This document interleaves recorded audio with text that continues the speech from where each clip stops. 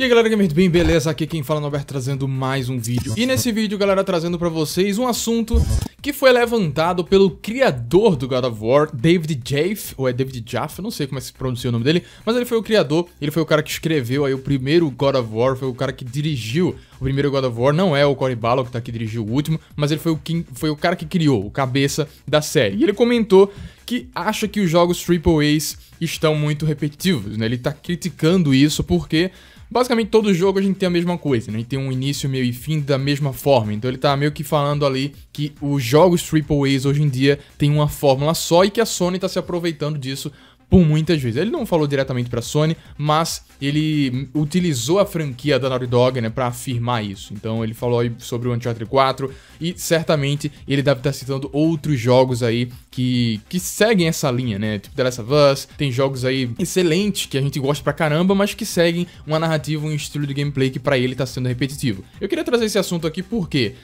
ele, por um lado, né, se a gente for parar para pensar, de fato ele tá certo. Porém, uma crítica é uma crítica muito vazia, né? Você criticar, ah, os jogos AAA estão repetitivos e eles não são bons, sabe? Então, eu acho um pouco vazio você comentar sobre isso, dizer que os jogos são a mesma coisa, até porque não são.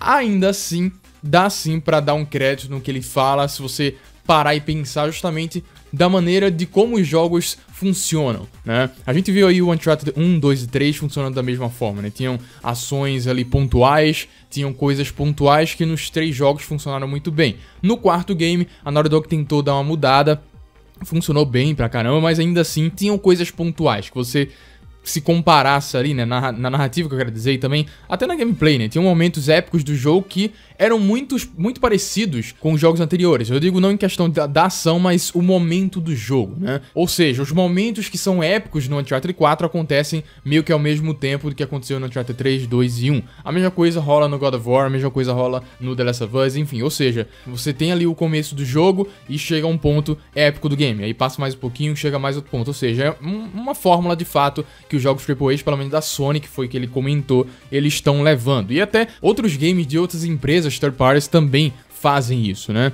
Eu particularmente não me incomodo, pelo menos não me incomodo por enquanto. Eu acho que você se enjoar aí de uma fórmula tem que ser muito. Tem, tem, que levar muito tempo, pelo menos para mim, né? Porque até no cinema isso acontece também. Você tem um gênero de filmes que você gosta pra caramba e você só gosta de ver aquilo. Vai depender muito do criador, do cara que tá escrevendo, trazer para você, mesmo que seja da mesma maneira, né? Apresentar o personagem na fórmula ali de herói, por exemplo. Ele tem, uh, ele tem ali o momento de aceitação dele, o momento que ele tá se descobrindo, até que ele vira o herói. No cinema é assim sempre, é a jornada do herói, como todo mundo fala, acontece nos games. A diferença é como a história é contada, ou até mesmo no caso do cinema, como que o ator participa ali do filme, etc. No caso dos games, a mesma coisa, cara. Mesmo que seja um personagem 3D, existe a atuação do, do, do, do ator ali que fez todo o movimento, existe o cara que escreveu os diálogos, ou seja, vai muito além do que a repetitividade que foi dita pelo David Jeff. O que eu quero dizer é, sim, os jogos AAAs têm uma fórmula hoje em dia que pode ser que canse no futuro. Mas eu acho que, se você for parar pra pensar, existem muito mais coisas que fazem um jogo AAA hoje em dia vender bastante do que somente ter uma formulazinha ali, né? Então, você citar aí os jogos da Naughty Dog, você citar os jogos da Sony, citar Gears of War também, que ele acabou citando também, jogos da Sony Santa Mônica, eu acho que você falar isso é olhar muito por baixo eu acho que você tem que olhar mais no projeto como um todo, né? Você tem que ver ah, como que o jogo está sendo feito, a ambientação do cenário, o como que o personagem é, se ele é carismático, se ele é mais sombrio e etc. Tudo isso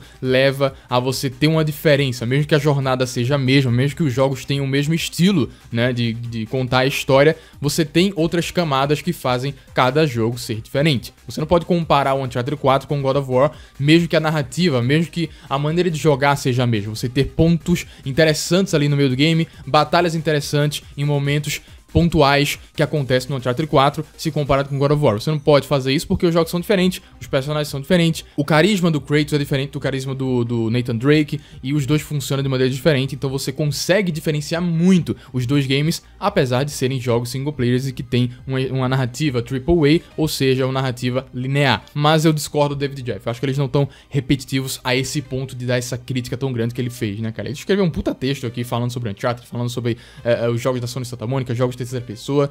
Então, eu quis abordar esse assunto aqui porque eu quero saber de vocês, tá? É isso. Fala aqui embaixo. Novamente lembrando a vocês, me sigam lá no Instagram e no Twitter, beleza? Instagram eu tô sempre publicando alguma foto, publicando stories lá, bem interessantes e mostrando algumas coisinhas que eu não trago no canal e nem mostro no Twitter. Ao mesmo tempo que no Twitter eu comento coisas que eu não falo no Instagram e nem aqui no canal. Então se você quiser acompanhar tudo que eu falo, tudo que eu posto, segue também no Instagram, que é uma das redes sociais preferidas minha, eu tô sempre usando ela por lá, beleza? É isso. Um abraço, fique com Deus e fui, galera.